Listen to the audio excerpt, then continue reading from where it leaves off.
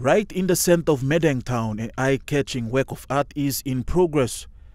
The Madang art maniacs coming together to show respect and pay tribute to a man who held traditional arts and culture at heart when he led the country into independence. We know that we all cannot be there, um, that the events that are going to take place will not be accessible to uh, all of us in Papua New Guinea.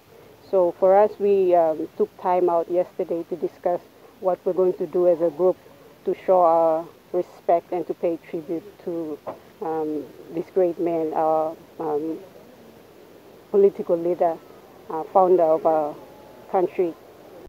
Using this old billboard, they decided to paint two murals, one a younger version of Sir Michael with the other a recent image.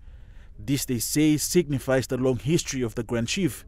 So it tells of um, uh, generations of influence and leadership and decisions um, that he has um, impact, input, and um, has given his life to for us as a country.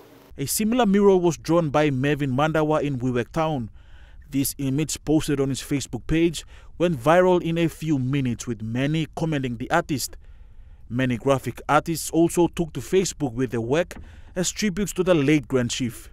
The latest portrait I did was to pay tribute to great Grand Chief Sir Michael Somare. Why I did the younger version portrait of him was because he was he, he was a, when he was young he used to live in what now called Bronx compound. It was once called uh, admin compound. It is still admin compound, but somehow it's called Bronx now. So he lived there when he was a young person or a young man. As the country started the National Week of Mourning yesterday, a show of solidarity was shown throughout the country. And for the people of Madang, many will not be able to attend the funeral and burial of Sir Michael, but it is through these acts it will honor him. Everyone wants to do uh, something to show that respect so this is our contribution. Stanley Over Jr., National EMTV News.